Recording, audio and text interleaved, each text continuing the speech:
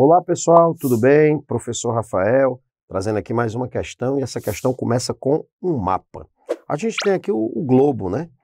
E a gente observa que os países, os continentes, eles estão agrupados. E a gente fala de países porque nós temos aqui uma espécie de divisão política. A gente pode observar, por exemplo, aqui os contornos do Brasil, dos Estados Unidos, do Canadá, na realidade, dos países aqui. Então, nós temos uma divisão política dentro desse agrupamento, quer dizer, nós estamos vendo as fronteiras. Mas esse agrupamento é um agrupamento de todos os continentes. Fato que já aconteceu ao longo da nossa história. Mas que história nós estamos falando? História geológica, né? A gente observa aqui que esse, esse mapa ele faz referência a um supercontinente que existiu no passado, né? no caso, o supercontinente Pangeia. Vamos analisar na sequência.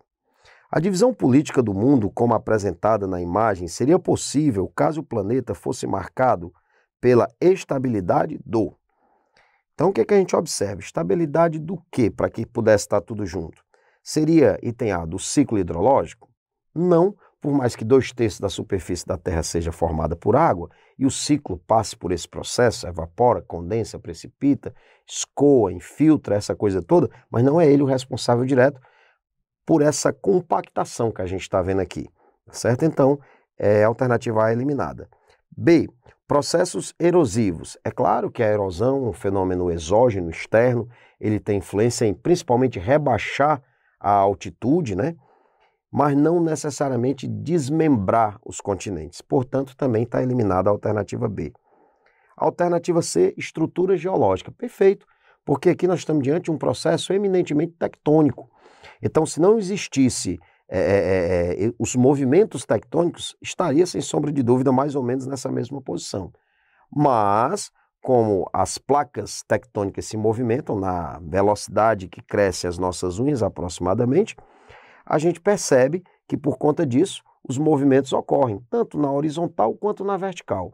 Movimentos de convergência, de divergência, transformância. Então, essa dinâmica geológica que proporcionou essa dispersão, esse, esse desmembramento em alguns casos, esse, essa aproximação em outros, essa dinâmica geológica toda. Portanto, a alternativa correta é a alternativa C, estrutura geológica.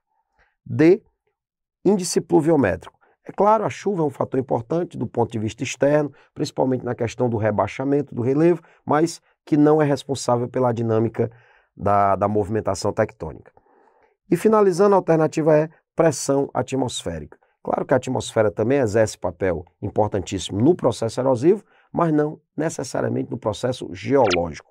Portanto, a gente confirma alternativa correta, alternativa C. Valeu, turma. Até a próxima questão.